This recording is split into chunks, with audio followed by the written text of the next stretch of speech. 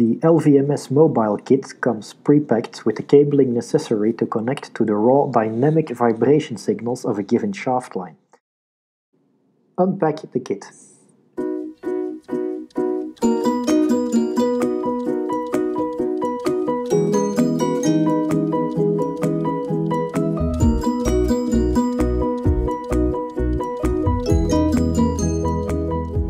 Plug in the power cord.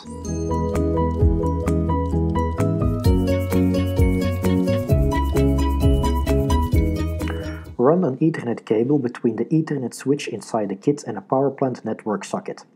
Detailed connection instructions will give the required IP settings.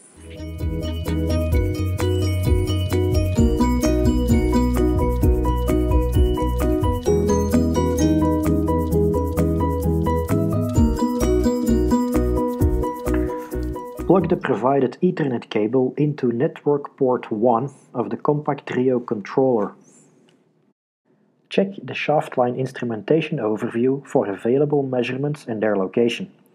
ENGIE Laborelec supplies an instrumentation scheme with the KKS tag numbers corresponding to the LVMS channels. Determine where to branch off the signals from the vibration protection system. When available tag numbers will show where to connect the cables.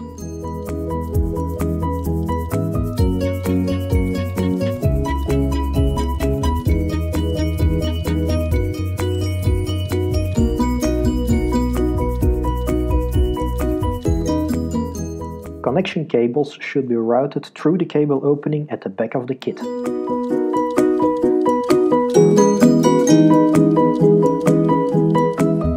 First connect the phase reference signal, always on channel 0 of module 1 on the LVMS hardware. Then connect all the other dynamic signals and process parameter signals.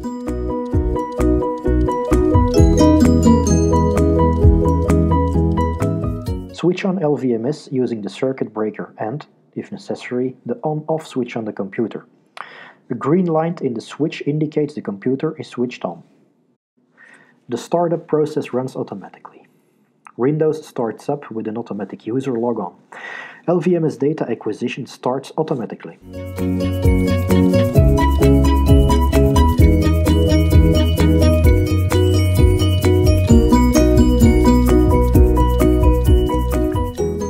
Followed by the startup of the data visualization.